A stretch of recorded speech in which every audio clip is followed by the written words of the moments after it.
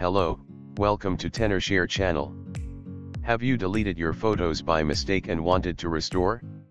In most cases, you can recover the deleted photos, unless you have backed up your iPhone through iTunes or iCloud before deleting photos.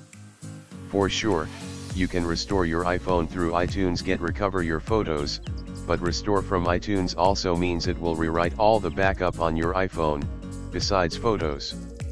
So you may lose some newest data if you restore through iTunes. But there's still some easy way that can help you out.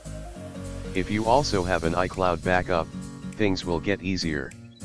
You can find your deleted photos on iCloud album, but make sure your backup was done before you deleted your photos. You can go to settings to check it. If the backup last succeeded before deleting, then you can go to iCloud.com, then enter your Apple ID and password. After sign in, click Photos.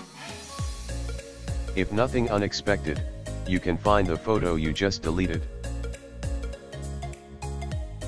Click download and it will save to your computer.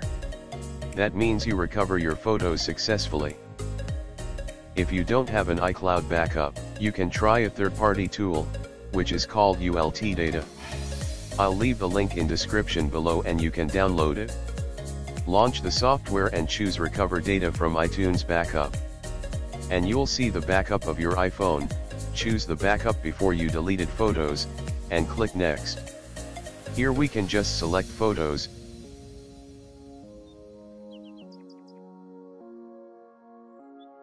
then start to scan.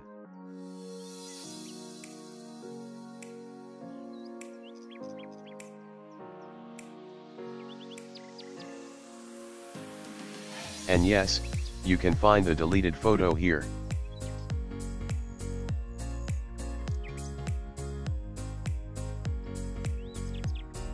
Click it and choose to recover to PC.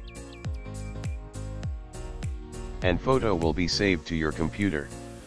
You can transfer it back to your iPhone. So this is the tutorial of restoring photos from iCloud and recovering deleted photos.